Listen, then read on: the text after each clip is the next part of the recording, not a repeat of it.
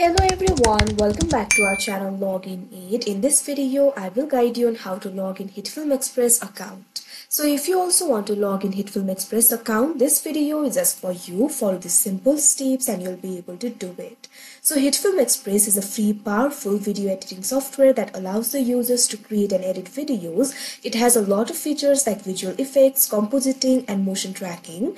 So if you also want to log into your HitFilm Express account, for that first of all what you have to do is launch up an HitFilm Express application. You can download this application from the official website of FX Home. Once the application has been downloaded, simply open the application. You can see over here initially you'll be led to this kind of interface.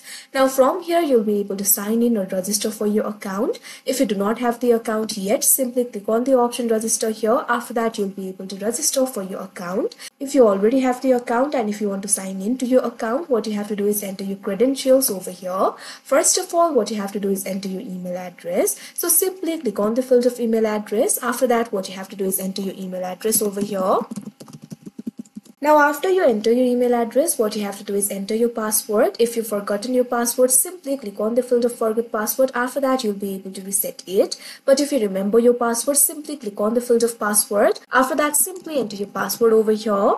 Now after you enter the email and password, what you have to do is click on the sign in option that you can see right over here on your screen. After that, you'll be signed in to your HitFilm Express account and you'll be able to edit the videos. So like this, you'll be able to sign in to your HitFilm Express account.